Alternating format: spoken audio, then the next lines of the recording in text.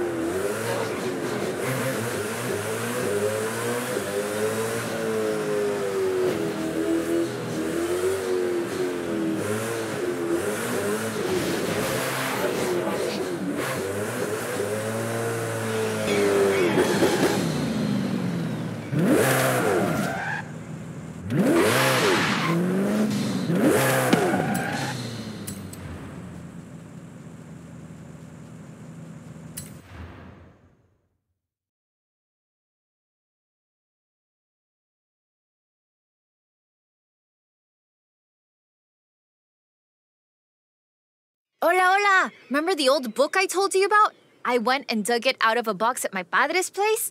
I want to try and find something. And you need a driver. And I need a driver. Yeah, bien. Head for Las Barrancas. I'll explain on the way.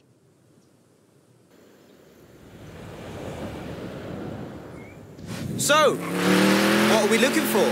My favorite book is called El Camino de Sydney Wolverstone, about an explorer who traveled Mexico 200 years ago. In her book, she describes these Atlantis she found, giant statues, but there aren't supposed to be any of those near here. Giant statues? From an old book? that aren't supposed to exist, yes. I've been piecing together clues from the book. You think you can get this car right into the river at the bottom of the Copper Canyon?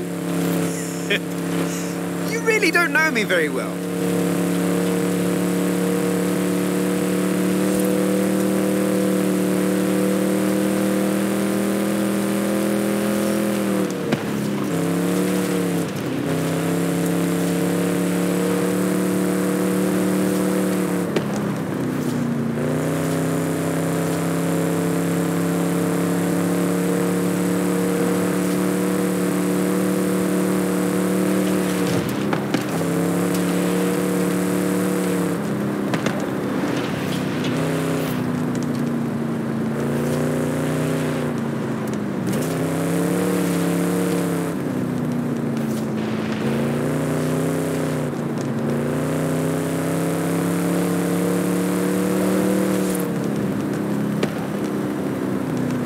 Copper Canyon is a wonder of Mexico.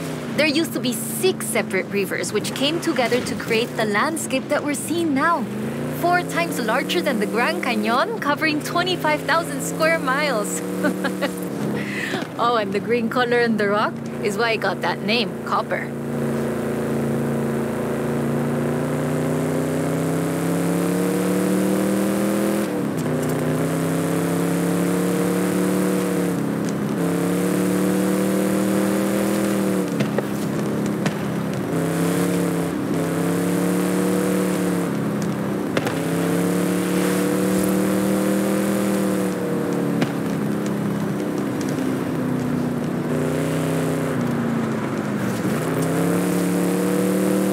A ver, let's get pictures here. In the book, Lady Sydney's expedition makes camp here, but that's just a fun story. Yeah, the book talks about setting up camp on an island and finding the statue in the afternoon light. It would have been about this time of day.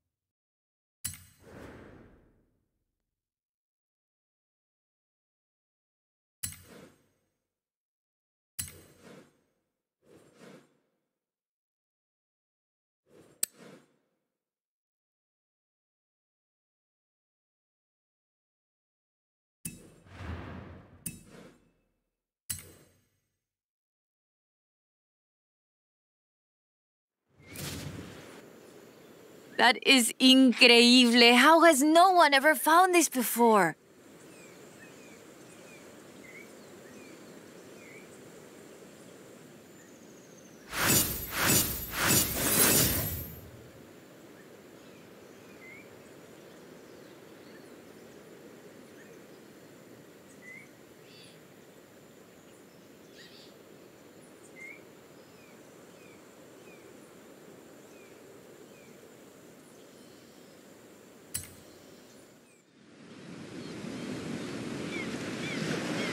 Hola, amigo. According to the book, there is a statue at El Arco de Cabo San Lucas. Wolverstone said she found it at sunset, but I thought we could try an experiment. I've worked out where the book says the statue should be around mid-morning and see what we can find. Or the other option is we get to El Arco just as the sun sets. If you believe the story, that's when we'll find the statue. From here, we will reach El Arco just as the sun sets, if you believe the story.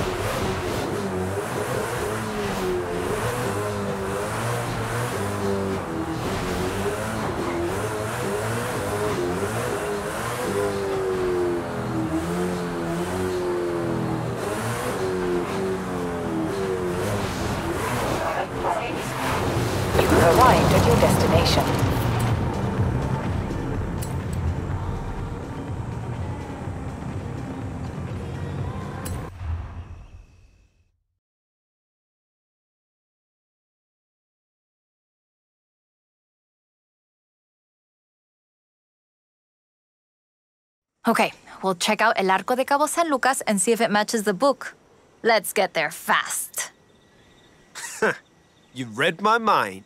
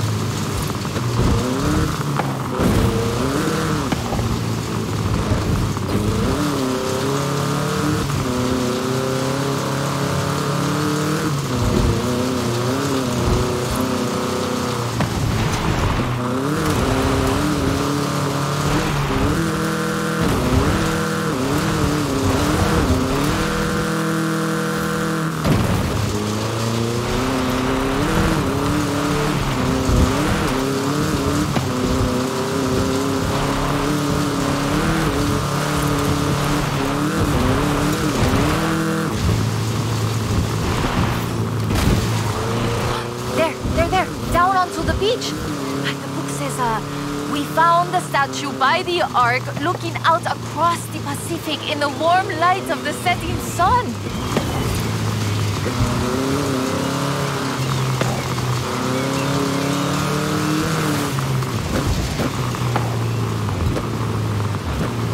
Hmm, I don't see it. Huh. Well, let's get some lunch and try back later in the day.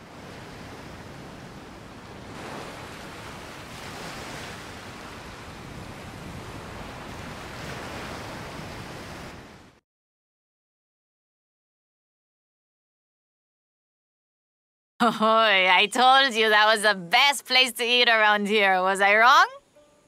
Aye. okay, we need to get going. Can you get us to the beach before the sun sets? You mean outrun the sun? Yep, I think I can do that. Even with the extra helping of tres leches.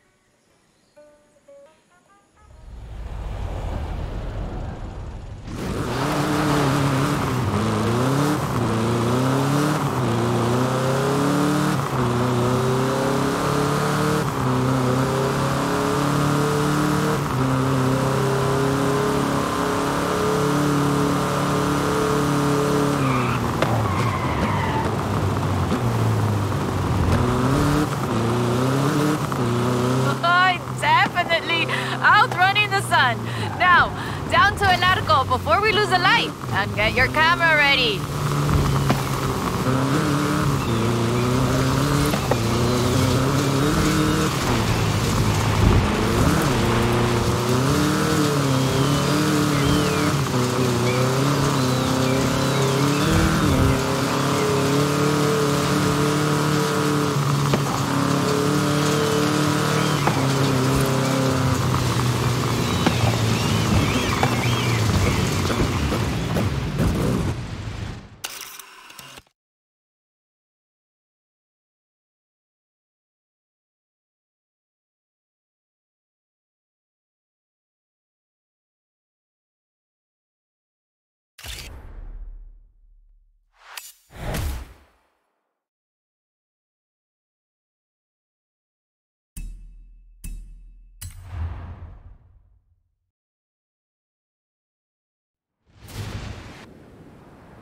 There it is!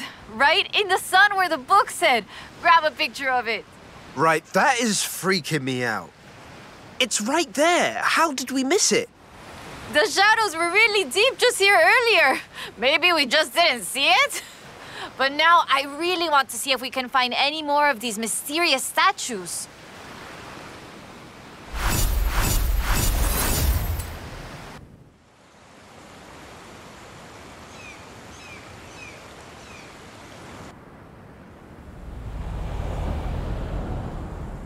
Hola, amigo. I've been reading the diary over and over. I think Lady Sydney's expedition came inland, but... No sé, no sé. It's hard to find the evidence.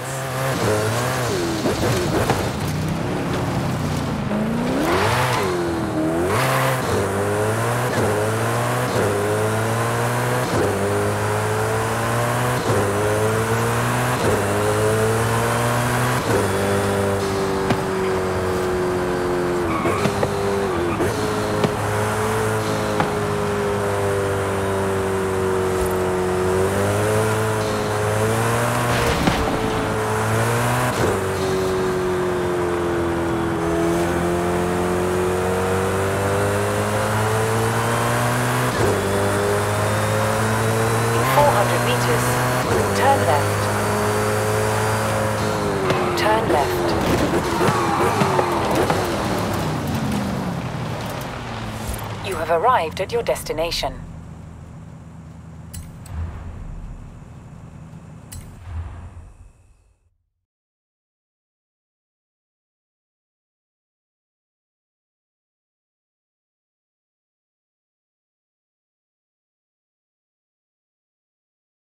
Ok, mira, escucha. Eh, Listen to this. El pueblo de Mulegé, un oasis tranquilo. If she made it to Mulegé, the expedition must have traveled upriver.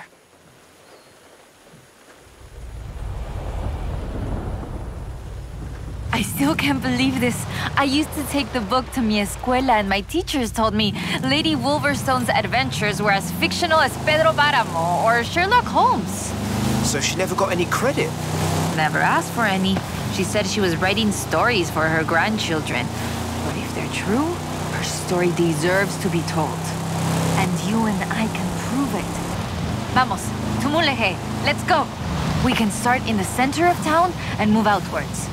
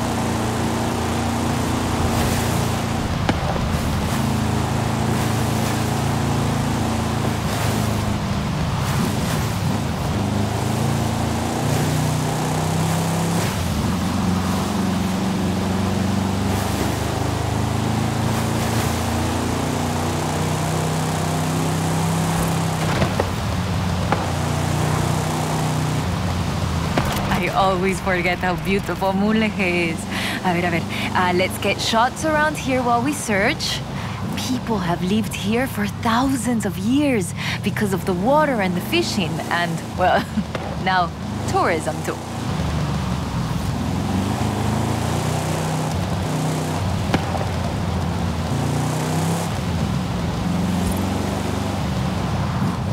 Lady Sydney must have camped on the south edge of the river. I, a ver. Can you see anything? Wow, there it is, just there in the trees. How did I never see this before? I've raced this road a hundred times and never seen it either.